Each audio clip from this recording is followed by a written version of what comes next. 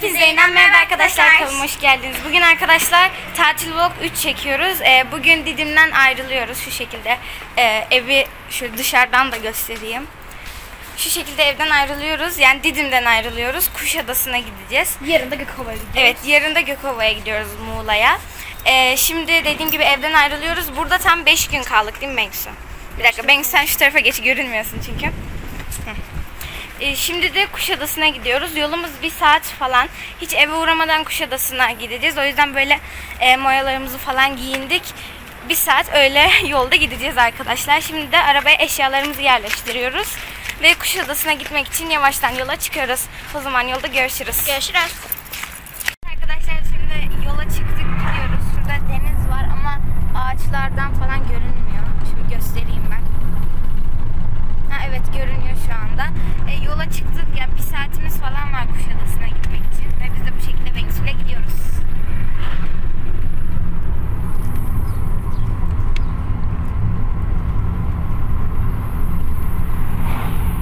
Ve evet arkadaşlar şimdi yavaştan Kuşadası'na geldik. Yavaştan kızım Kuşadası. Bayağı şu an Kuşadası'ndayız hatta. Şöyle yolu göstereyim. Daha yeni denizi gördük ama şimdi e, denizin yakınlarına doğru gidiyoruz. E, orada böyle beğendiğimiz bir yere oturup hemen yüzmeye başlayacağız. Muhtemelen denizi de oraya gidince Bengisu'yla gösteririz. Kadınlar plajına gidiyoruz. Kadınlar E, plajına. adı öyle.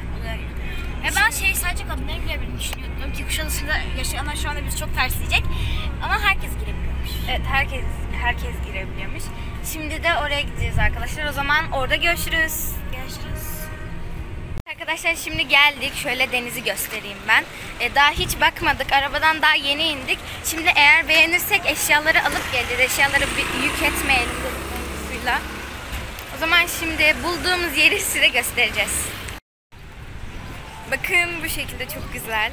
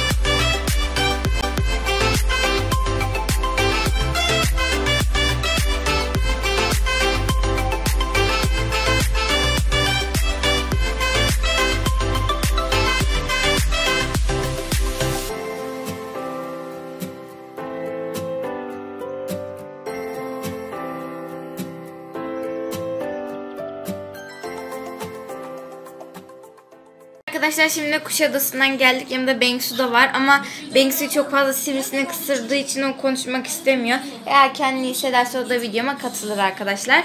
Şimdi Kuşadası'ndan döndük. Ee, bayağı vakit geçti. Yemeğimizi falan yedik işte. Ee, zaten e, orada çekindiğim fotoğrafları falan da koyarım. Bu arada biz e, böyle bir tane e, Kuşadası Kalesi'ne gittik. Orada video çekmeyi unuttum. Tam oradan çıktık öyle aklıma geldi ama iş işten geçmişti. Keşke orada da video çekseymişim. Gerçekten çok güzel ve çok tarihi bir yerde. Hani keşke çekseymişim diyorum. Orada bir sürü fotoğraf çekindik. Onlardan koymayı düşünüyorum.